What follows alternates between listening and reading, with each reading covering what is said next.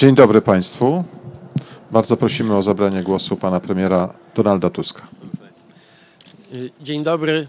Spotykamy się w związku z planowaną rozmową pana premiera Mateusza Morawieckiego z przedstawicielami opozycji. Y, Oczywiście przyjąłem to, to zaproszenie i uważam, że jest to niezły znak, jeśli chodzi o gotowość do współpracy w tych kluczowych dzisiaj dla Polski sprawach, czyli bezpieczeństwo naszych y, granic, y, no, wojna na Ukrainie oczywiście, problem uchodźców i coraz bardziej dramatyczna sytuacja polskich rodzin w związku i z inflacją, i drożyzną, wojną i tymi ciężarami, jakie Polacy wzięli na siebie w związku y, z, z tą falą. Będę mm, mówił dokładnie to samo, co kilkadziesiąt godzin y, temu.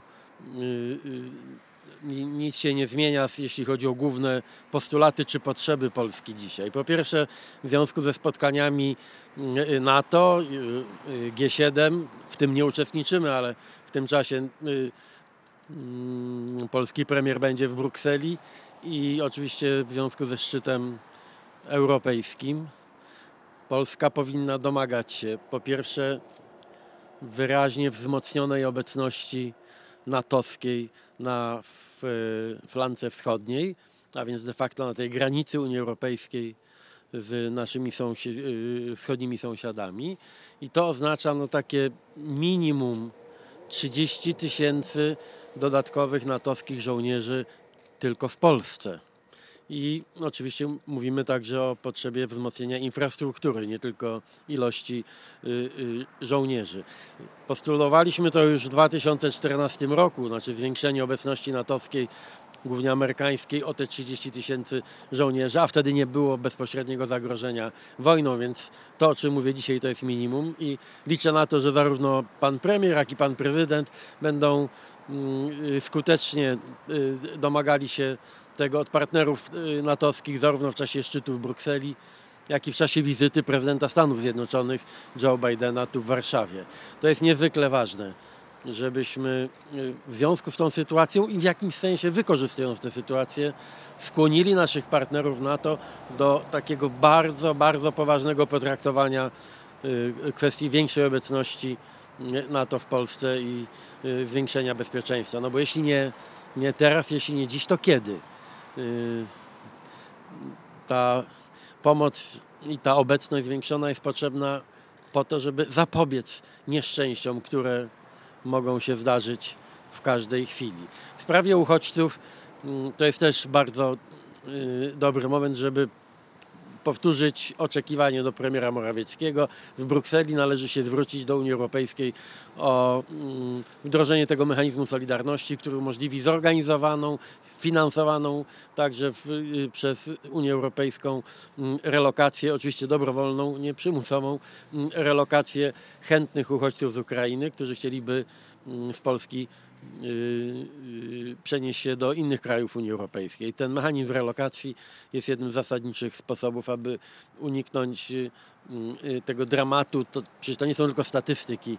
Mówimy dzisiaj, no, te, te komunikaty są niby nie tak y, dramatyczne, to już nie jest 100 tysięcy, ale 20 do 30 tysięcy na dobę. Ale to nadal oznacza, że w ciągu dwóch miesięcy będzie mm, o, o 1 milion więcej uchodźców z Ukrainy i, i dlatego ta pomoc jest tak bardzo y, potrzebna. Bardzo bym chciał, żeby premier jednoznacznie zadeklarował gotowość skorzystania z tego, y, z tego mechanizmu. I mm, no, taka sprawa ogólna, to oczywiście o to się też zwracałem już wiele razy publicznie. Y, To jest potrzeba zbudowania takiej polskiej jedności wokół tych kluczowych spraw. Nikt nie będzie udawał, że się nie różnimy. Wiadomo, y, na czym polega polska polityka, nie tylko polska, ale w tej sprawie, podobnie jak Ukraińcy, powinniśmy bezwzględnie y, szukać jakby i wspólnego zdania, i wspólnego działania, czyli bezpieczeństwo Polski i, i kwestia y, uchodźców. Tutaj nie ma miejsca na jakieś niepotrzebne spory dlatego jeszcze raz powtórzę też w obecności premiera, mam nadzieję, że rządowe media nie będą y, projektowały takiej nowej odsłony politycznej wojny domowej w Polsce, bo to jest ostatnia rzecz, jakiej potrzebujemy. I w związku z między innymi z informacjami o kolejnych takich targach politycz- politycznych, handlach, podobno pan Zbigniew Ziobro ciągle jest bardzo silnym mm, y, człowiekiem w rządzie pana Morawieckiego, podobno za poparcie jakiejś ustawy. Może liczyć na ministerstwo czy wiceministerstwo, pan słynny pan Janusz Kowalski. To pokazuje, jak ciągle po jak cienkiej linie porusza się rząd Morawieckiego w sensie politycznym. Taki zdeklarowany przeciwnik Unii Europejskiej, szkodnik, ten, który uniemożliwia między innymi, nie tylko on, ale on stał się symbolem, mówię o, o panu ministrze Ziobro, tej niemożności ze strony Polski wzięcia tych europejskich pieniędzy, dziś potrzebnych jak powietrze. Yy, Ta jego pozycja ciągle jest bardzo silna. Kiedy mówimy o deputonizacji, kiedy premier dzisiaj mówi o derusyfikacji polskiej gospodarki, to chciałbym oczywiście usłyszeć konkretne decyzje dotyczące gospodarki, lotosu, i Orlenu, obecności rosyjskich popleczników y, w naszych rafineriach. Czy nie można tego zatrzymać? O to, o to też y, mm, apelujemy. Y, Będzie ciągle pytanie o rosyjski węgiel. My nie możemy nałożyć cła ani embarga, bo to jest zadanie dla całej Unii, ale są narzędzia, instrumenty, które mogą uniemożliwić zakup mm, rosyjskiego mm, węgla. Także tutaj też oczekiwałbym konkretnych y, deklaracji i konkretnych informacji pana premiera. Bez tego słynnego chcielibyśmy, aby, tylko zrobiliśmy to i to, a jutro zrobimy to i to. Mam nadzieję, że ten język w związku też z tą dramatyczną sytuacją będzie wreszcie konkretny i, i mm, no, oparty na faktach, a nie na życzeniach. Mamy jeszcze czas na dwa pytania. Bardzo proszę, pani redaktor.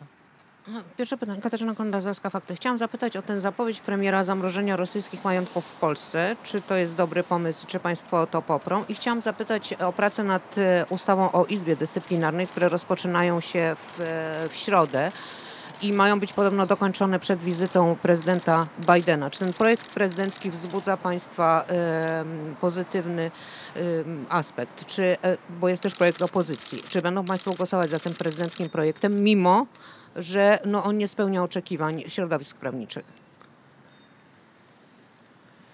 Jeśli chodzi o tę y, drugą kwestię, jak Państwo wiecie, jest kil, kilka projektów. Y, Ten projekt prezydencki jest pewnym sygnałem, sam sobie jest zły i o tym mówiliśmy, o tym mówili także sędziowie, o tym, o tym mówi opinia i w Polsce i opinia międzynarodowa. Wiadomo, że projekt prezydenta Dudy nie naprawia szkód, jakie wyrządził PiS, y, pan Kaczyński, pan Ziobro, też niestety pan prezydent y, przez y, y, już nie miesiące, a lata tego niszczenia polskiego wymiaru sprawiedliwości też niestety swoje dołożył. Ale jest ten projekt pewnym sygnałem, który może otworzyć poważną rozmowę między innymi na odblokowanie pieniędzy. Więc y, ja mam nadzieję, że dotrzymają obietnicy. Po pierwsze, obietnicy danej Polakom i całej Europie, że zlikwidują Izbę Dyscyplinarną. Po drugie, obiecali, że będą pracowali razem z opozycją, a więc będą także uwzględniali wnioski i polskich prawników, polskich ekspertów i także partii opozycyjnych. Na to, na to bardzo liczę. Tak jak powiedziałem, i tu w Warszawie, i w Brukseli ja będę robił co w mojej mocy, żeby te pieniądze do Polski dotarły, ale też nie chcę, żeby bez przerwy strona rządowa zakłamywała ten problem. Jedynym mm, takim uczciwym sposobem na odblokowanie funduszy europejskich, w tym y, planu odbudowy, y, y, byłoby i wciąż jest rezygnacja zniszczenia polskiego wymiaru sprawiedliwości przez PiS. I to jest dosłownie tak, to, jest, to można dzisiaj uzgodnić i jutro, i jutro będą pozytywne decyzje dotyczące mm, tych y, naszych pieniędzy. To był, a y, pierwsze pytanie dotyczy y, rosyjskich majątków. Znaczy, to nie jest pytanie, czy Polska powinna zacząć działać energicznie, jeśli chodzi o, o rosyjską własność tutaj w Polsce i żeby zablokować y, y, te rosyjsskie zasoby, tylko ja się zastanawiam, dlaczego to tak długo trwa. I wskazywaliśmy już wielokrotnie miejsca, gdzie y, te decyzje mogą zapaść natychmiast i one nie wymagają przecież z nikim konsultacji. Na całym świecie tego typu procesy się dzieją, no, a Polska ma szczególne powody, żeby działać tutaj, mm, tutaj szybko i zdecydowanie. Ja jeszcze raz podkreślę, mnie bardzo martwi to, że zamiast jednoznacznie i szybko podjąć decyzje dotyczące tych aktywów rosyjskich w Polsce, to ciągle myśli się o tym, żeby mm, sprzedać i to tak wrażliwe rzeczy, jak te części mm, y, polskich y, rafinerii, polskiego przemysłu naftowego w ręce, które są ewidentnie pod polityczną kontrolą rosyjską. Także i oczekiwałbym tutaj i jednego, i drugiego, czyli szybkich decyzji na, na mm, y, tych negatywnych dla Rosjan i jak najszybszej decyzji o zablokowaniu y, mm, y, procesu sprzedaży y, polskiego przemysłu naftowego w te bardzo niepewne dzisiaj ręce. Panie premierze Jacek Czarnecki, Radio Z. Y, Mówi się bardzo dużo o y, planie, nazwijmy to planem Kaczyńskiego, wprowadzenia y, sił pokojowych NATO, ale uzbrojonych y, na teren, y, na teren Ukrainy. Y, Zdaje się, tego będzie też dotyczył szczyt NATO i rozmowa prezydenta Bidena z państwami członkowskimi. Co pan o tym sądzi i czy Platforma dzisiaj u premiera da mu poparcie w tej sprawie? Zadaniem polskich polityków, a w szczególności polskiego prezydenta i polskiego rządu jest zadbać o bezpieczeństwo Polski. Chciałbym, żeby polskie propozycje, polskie argumenty sprzyjały takiemu pozytywnemu nastawieniu wszystkich członków NATO i szczególnie naszych amerykańskich partnerów, po to, żeby zwiększyć przede wszystkim obecność NATO w Polsce. Po pierwsze, bezpieczeństwo Polski, bo na to mamy wpływ i do tego władze Polski są powołane. I druga kwestia, Polska będzie na pewno, i tutaj no, jestem przekonany, że to jest wspólny pogląd wszystkich sił politycznych w Polsce, będzie na pewno bardzo lojalnym, ambitnym, zdecydowanym sojusznikiem pozostałych partnerów w NATO, jeśli zapadną decyzje o tym, aby NATO aktywniej uczestniczyło, uczestniczyło w, y, we wsparciu Ukrainy.